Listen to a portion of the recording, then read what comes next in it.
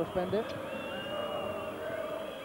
Ριγκοντό για τρεις και έχουμε time out που ζήτησε ο Μάλκοβιτς. χαρακτηριστικές κινήσεις του και περισσότερο να περνάει μπάλα στους ψηλούς παίκτες.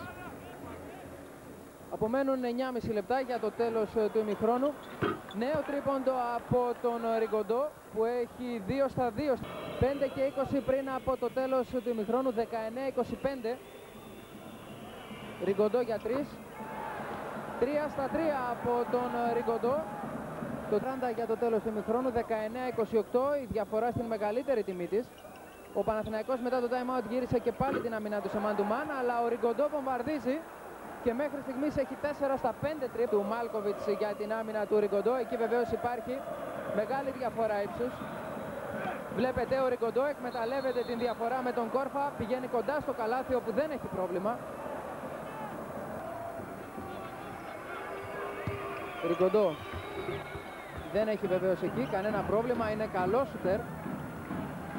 41 41-40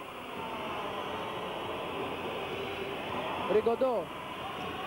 41-42 με τον Ριγκοντό να φτάνει τους 18 Νούμε στο τελευταίο πεντάλεπτο και το σημερινό εντός έδρας παιχνίδι του Παναθηναϊκού.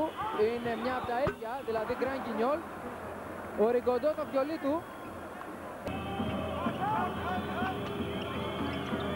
Γκαντού για τον Ριγκοντό μάλιστα οι Γάλλοι στο συν 6 3 και 37 πριν το φινάλε. Περίπου τους μισούς δηλαδή των Γάλλων που έχουν 61. Και πάλι Ριγκοντό, 56-63, Νάτος εδώ.